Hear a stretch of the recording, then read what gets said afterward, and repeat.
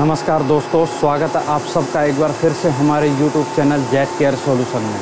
दोस्तों, मैं राजकुमार शर्मा आज आपको लेकर आया हूँ कुंडली के एक इंडस्ट्री एरिया में, जहाँ पर पाइप बनते हैं दोस्तों।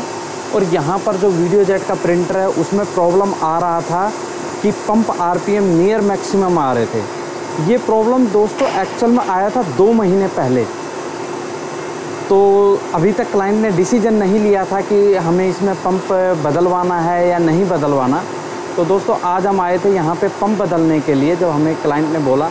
तो लेकिन दोस्तों, इसमें साथ साथ अब एक प्रॉब्लम और स्टार्ट हो गया है। और वो प्रॉब्लम है कि इसके जो हेड के वाल्व हैं, वो काम नहीं कर रहे हैं। तो दोस्तों, अगर आपके यहाँ भी इस तरह की अगर कोई प्रॉब्लम आती है, एक पार्ट ख़राब हो गया और आप वेट करते हैं दो महीने या तीन महीने का तो ऐसी गलती आप कभी भी ना करें।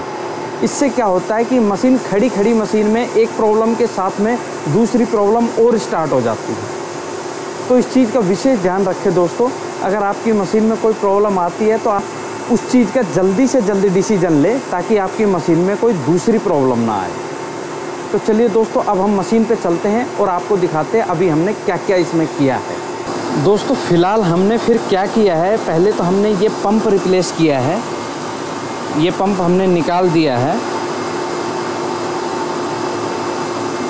इसके आरपीएम आ रहे थे दोस्तों 2200 आरपीएम 2200 और दूसरा इसमें प्रॉब्लम आया था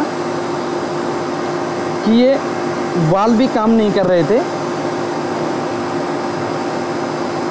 तो हमने ये वाल भी चेंज कर दिया है। वाल प्लेट अभी फ़िलहाल हमने टेम्परेरी लगा दी है।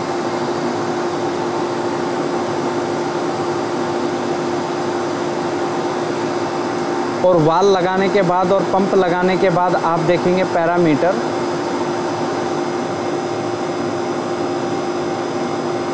आप देखेंगे आरपीएम आ रहे हैं 1350 थोड़ा वेलोसिटी और टारगेट प्रेशर कम है, क्योंकि मशीन काफ़ी दिनों से बंद थी, करीब दो से ढाई महीने पहले से। तो हमने लाइन वाइनें साफ़ करी हैं वाल वगैरह टेस्ट करे हैं। नोज़ल प्लस काफ़ी बार करना पड़ा है, क्योंकि नोज़ल भी थोड़ा चौक हो गया था। तो दोस्तों, अब मैं आपको मशीन का प्रिंट दिखाता हूँ।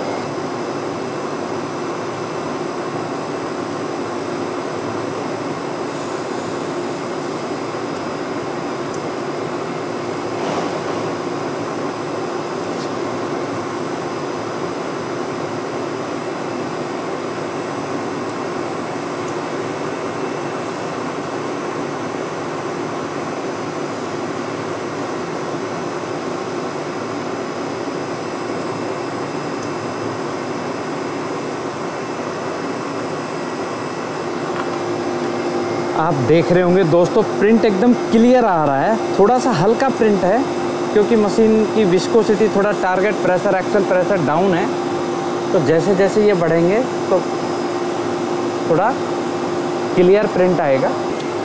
तो दोस्तों, आप भी इस चीज़ का विशेष ध्यान रखें। अगर आपकी मशीन में कुछ प्रॉब्लम आ रही है तो आप उसका डिसीज़न जल्दी लें, ताकि आपकी मशीन में और प्रॉब्लम क्रिएट ना हो जाए। तो दोस्तों, आपने देखा, हमने आपको दिखाया कि मशीन में हमने क्या क्या किया है और अभी मशीन के पैरामीटर कैसे आ रहे हैं और प्रिंट कैसा है।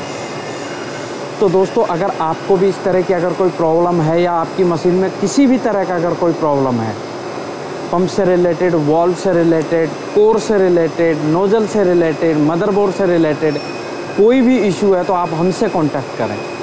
हम आपकी मशीन का कंप्लीट सॉल्यूशन करेंगे।